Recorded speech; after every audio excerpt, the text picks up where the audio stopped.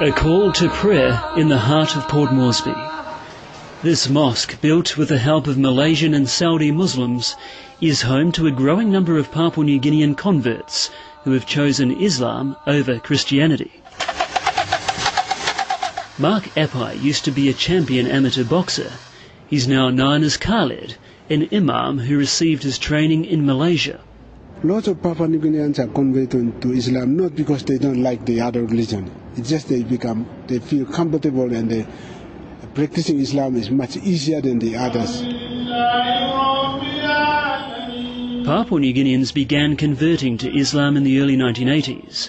There are now more than 4,000 followers, with recent reports of entire villages converting at the same time. Many are drawn to Islam because of the similarities the religion has with Melanesian customs. We hit with hands. This is Islam. When we greet people, we hug them. This is Islam. We don't shake hands and leave them. So most of our cultures are Islamic.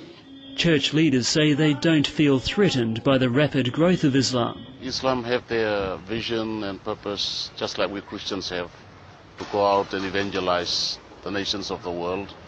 But not everyone has welcomed the new religion, with incidents of discrimination and Islamophobia quite common. This mosque has been firebombed. There's a bullet hole in one of the windows, and a senior government minister once said that Islam was dangerous and a serious threat to peace and unity here.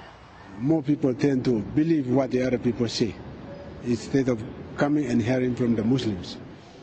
Khalid says attitudes will change as the number of Papua New Guineans converting to Islam continues to increase. Steve Marshall, ABC News, Port Moresby.